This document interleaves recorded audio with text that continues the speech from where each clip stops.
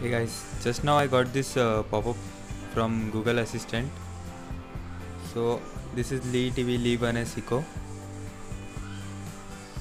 So most Hi, I did. A, Assistant. okay. I can help you find what you need and get things done. If you need help, just ask what can you do. So, how can I help? How can I help? If you want to help me out, you could tell me what your favorite ice cream flavor is. I don't know. Maybe chocolate. Sorry, that's too complicated for me to remember. Okay. So this is the Google Assistant which I received just now. So I was not expecting it to be on this device so early. Don't know how did it pop up. Everything else is same, just the assistant is changed and it's more smarter now. Yeah, that shows it. Which number do you want to text? For example, None. Just took it wrong. So this is it. I got it on my Le 1S.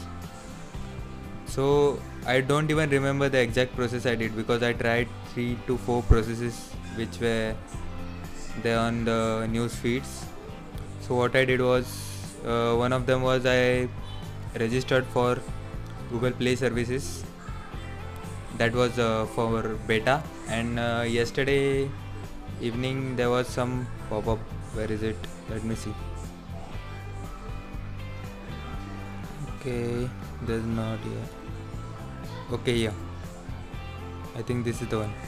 So there was an uh, change in uh, something APK file of the Google Play services. I think that was a beta too.